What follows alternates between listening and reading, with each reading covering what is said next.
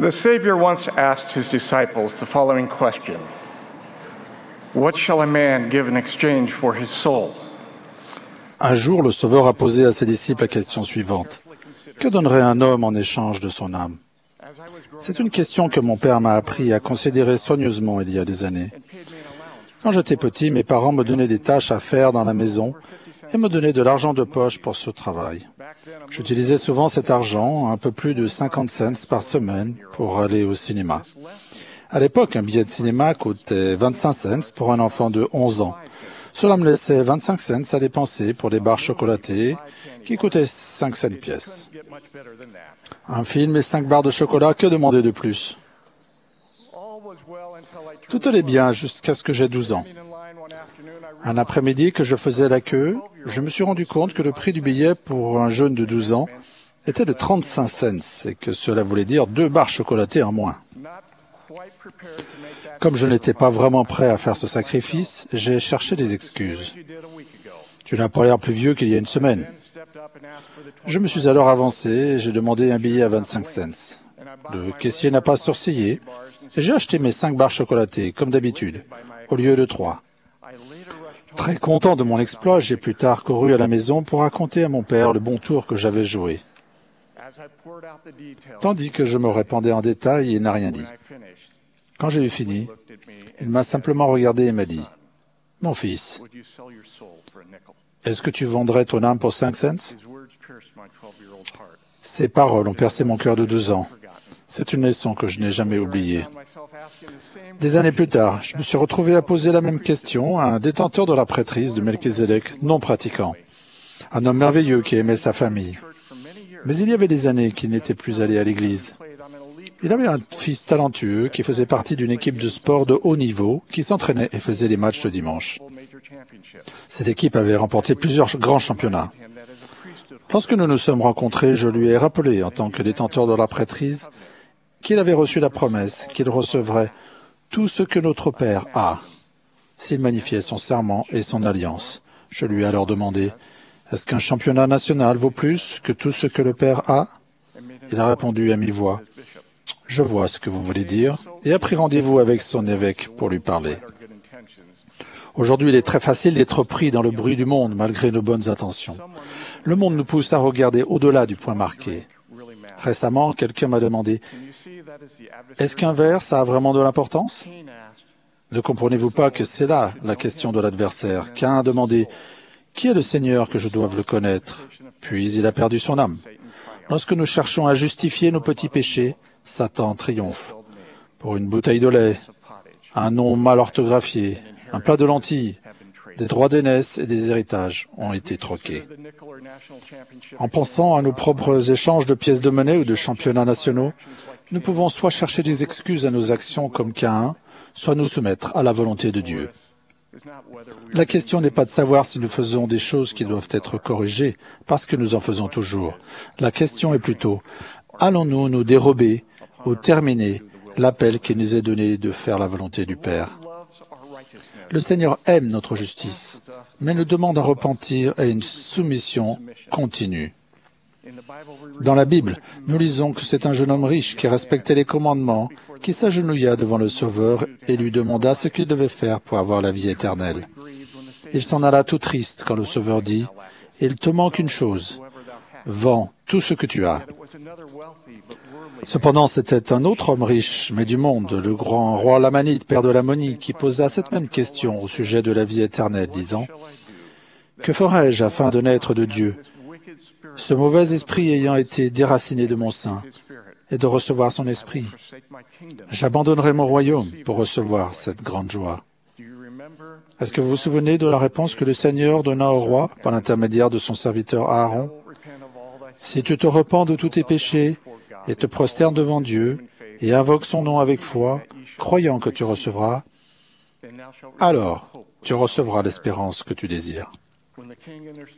Quand le roi comprit le sacrifice requis, il s'humilia, il se prosterna, puis fit cette prière. Ô Dieu, je délaisserai tous mes péchés pour te connaître. C'est l'échange que le Sauveur nous demande. Nous devons renoncer à tous nos péchés, grands ou petits, pour avoir du Père la récompense de la vie éternelle.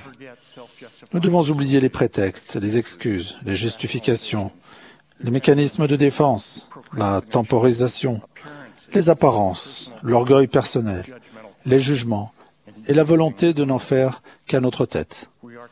Nous devons nous séparer de toutes les choses du monde et avoir sur notre visage l'image de Dieu. Frères et sœurs, souvenez-vous que cette responsabilité est plus que simplement ne pas faire de choses mauvaises. Avec un ennemi engagé, nous devons aussi agir et ne pas rester assis dans une stupeur insensible. Prendre sur nous l'image de Dieu veut dire nous servir les uns les autres. Il y a des péchés de commission et des péchés d'omission, et nous devons surmonter les deux. Quand j'étais président de mission en Afrique, j'ai appris pour toujours cette grande vérité. J'allais à une réunion quand j'ai vu un jeune garçon tout seul, en train de pleurer, hystérique, sur le côté de la route. Une voix intérieure m'a dit, Arrête-toi et va aider ce garçon. Dès que j'ai entendu cette voix, en une fraction de seconde, je me suis trouvé des excuses. Tu ne peux pas t'arrêter, tu vas être en retard, tu es l'officier président, et tu ne peux pas arriver en retard. Arrivé à l'église, j'ai entendu la même voix répéter, Va aider ce garçon. J'ai alors donné mes clés de voiture à un membre de l'église nommé Afassi et je lui ai demandé de m'amener le garçon. Une vingtaine de minutes plus tard, j'ai senti une tape sur l'épaule. Le jeune garçon était dehors. Il avait une dizaine d'années. Nous avons découvert que son père était mort et que sa mère était en prison.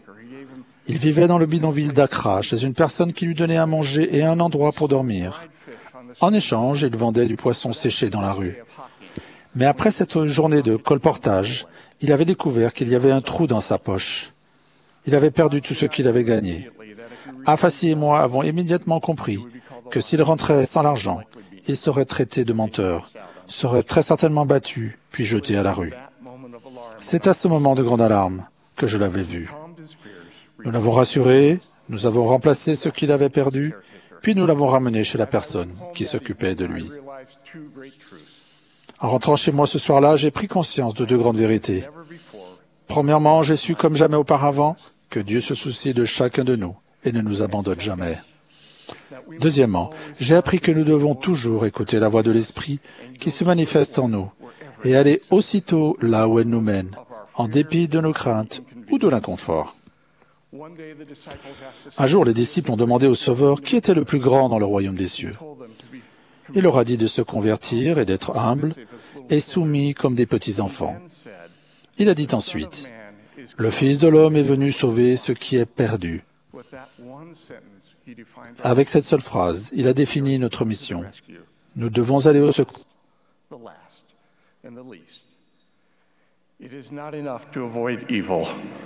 We must suffer his cross and be anxiously engaged, helping others to conversion. Et œuvrer avec zèle pour aider les autres à se convertir. Avec compassion et amour, nous embrassons l'enfant prodigue et nous répondons aux cris des orphelins bouleversés, aux supplications des personnes qui sont dans les ténèbres et le désespoir, et aux appels de détresse des membres de la famille dans le besoin. Neil Maxwell a dit, Satan n'a pas besoin que tout le monde soit comme Cain ou Judas. Il a seulement besoin de pousser les hommes capables à se considérer comme des gens neutres, sophistiqués. À la fin d'une récente conférence de Pieux, un adolescent m'a abordé et m'a demandé Est-ce que Dieu m'aime? Puisse nos vies de service être toujours l'affirmation que Dieu n'abandonne personne. Quant à la question que donnerait un homme en échange de son âme, Satan voudrait que nous vendions notre vie pour les barres chocolatées et les championnats de ce monde.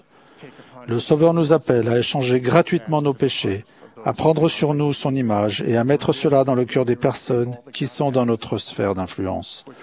Pour cela, nous pouvons recevoir tout ce que Dieu a, ce qui, nous dit-on, est plus grand que tous les trésors de la terre assemblés. Est-ce que vous arrivez à l'imaginer? Au cours d'un voyage récent au Nicaragua, j'ai remarqué une plaque sur la maison modeste d'une famille à qui nous rendions visite. On nous disait Mon témoignage est mon bien le plus précieux. Il en est ainsi pour moi. Mon témoignage est le trésor de mon âme. Et dans l'intégrité de mon cœur, je vous témoigne que cette Église est la vraie Église de Dieu et que notre Sauveur se tient à sa tête et la dirige par l'intermédiaire du prophète qu'il a choisi. Au nom de Jésus-Christ. Amen.